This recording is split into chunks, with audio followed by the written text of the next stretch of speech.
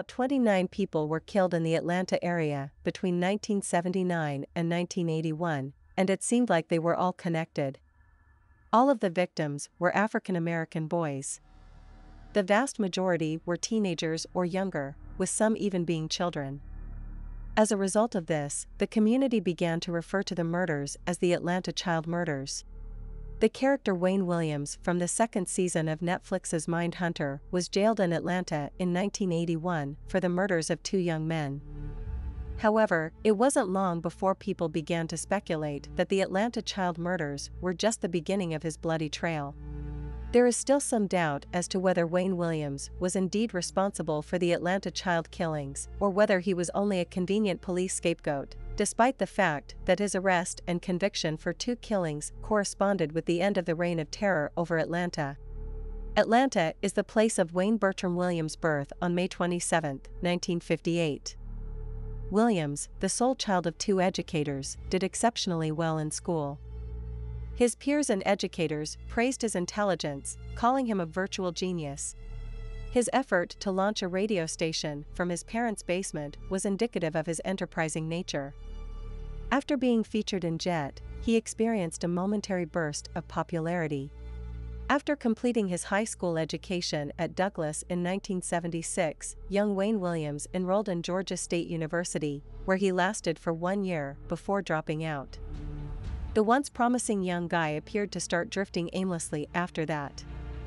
By the time he was 23, he had already worked in radio, produced records, and scouted for new talent. Williams eventually tried his hand at freelancing as a photographer. Williams had lofty professional aspirations, but his work was never successful. The money his parents spent supporting his goals led them to declare bankruptcy, a longtime neighbor of the Williamses reportedly told FBI officials that the local youth mistook Wayne Williams for a police officer because of his mannerisms and the fact that he wore a badge. Two or three years ago, many of them began to think he was going crazy. A neighbor who asked not to be named stated that the man would approach children in official looking vehicles and warn them to get off the roadway or face jail time. On May 22, 1981, everything began to go downhill Police officers on patrol on a bridge over the Chattahoochee River at 3 a.m. that day pulled over Wayne Williams, who was driving his automobile. They let him go, but they promised they'd come back. Two days after police questioned Williams, Williams's body was found downstream from where they had been. Nathaniel Cater, 27. It was thought to be connected to the recent murder spree that had gripped the city. The Atlanta child murders now have a new suspect in Wayne Williams. A 14 year old and a 13 year old kid went missing in Atlanta within three days of one other. They were the first victims of the Atlanta child murders. On July 28, 1979, their bodies were discovered next to each other by the side of a road. One was killed by gunfire, and the other by suffocation. From that point on, the body count only rose. Six people had been confirmed dead by March 1980. Local Atlanta authorities were left frustrated after following up on every possible lead in the investigation of the Atlanta child murders. The FBI had to become involved before too long. John Douglas, a well known FBI profiler, shared his thoughts on a possible murderer profile for the Atlanta murders. He had already devoted a large portion of his career to conducting in depth interviews with notorious criminals like James Earl Ray, David Berkowitz, aka Son of Sam, and Richard Speck. As a result, Douglas's suspicions in this instance were not unexpected.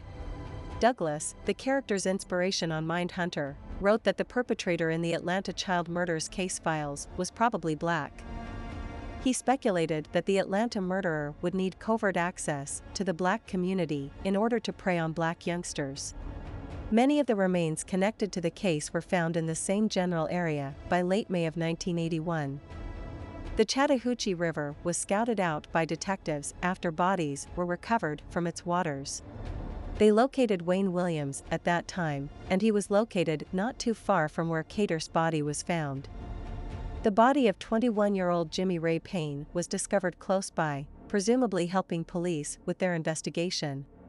About a month after the deaths were found, on June 21, law enforcement finally apprehended suspect Wayne Williams. After a failed polygraph and flimsy alibi, he was taken into custody. Fibers were also taken from Williams' vehicle and family dogs by the police. Cater and Payne both had the same fibers on their bodies. FBI profiler John Douglas identified a compelling motive for Williams, adding to the growing body of evidence.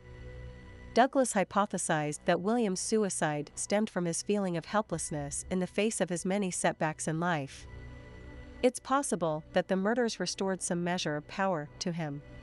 After observing Williams' trial, Douglas determined that he is very much like other serial killers researched and interviewed in the past by the FBI's Behavioral Sciences Unit. According to the FBI agent's notes, Williams seemed to enjoy the spotlight cast by the murder investigation, suggesting that he was seeking attention. Douglas pointed out that Williams, like many serial killers, believed he would never be brought to justice. As support for Wayne Williams's case waned, however, his cool attitude began to crack. During Williams' cross-examination, Douglas suggested that the prosecution highlight his mistakes and contradictory testimony. Williams grew combative after this strategy was employed, labeling the prosecutor a fool.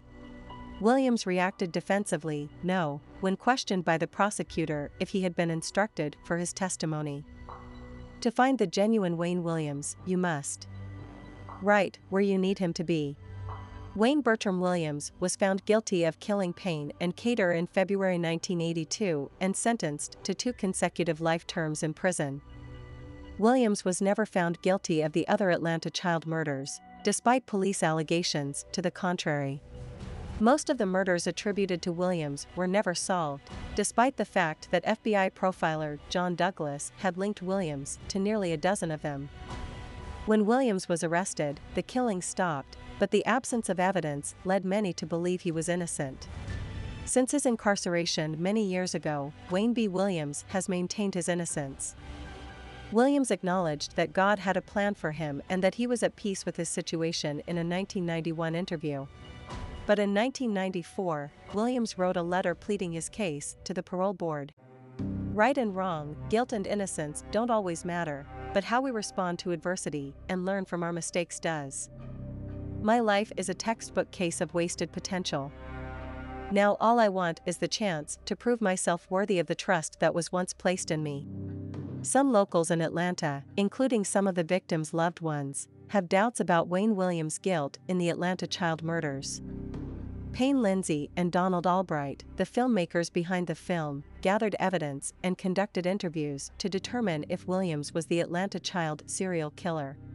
This work was done as part of the Atlanta Monster podcast, which explores the nearly 40 year old case over the course of 10 episodes. The victim's loved ones are the ones who claim they don't believe he's responsible. Albright stated they don't feel like their child was ever given justice. The Georgia Bureau of Investigation, GBI, may have covered up information that may have linked a member of the Ku Klux Klan to the murders, according to a bombshell story published in Spin magazine. However, the GBI kept this information secret so as to avoid racial unrest.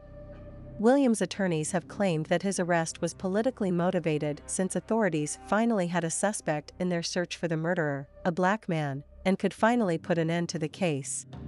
When DNA forensics were applied to the hairs found at the Atlanta crime site in 2010, they bolstered the initial case and added new layers of complexity to the investigation.